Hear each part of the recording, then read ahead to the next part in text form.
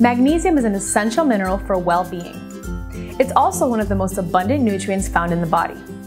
Still, magnesium deficiency is a common issue, but luckily one that's easily and can be supported.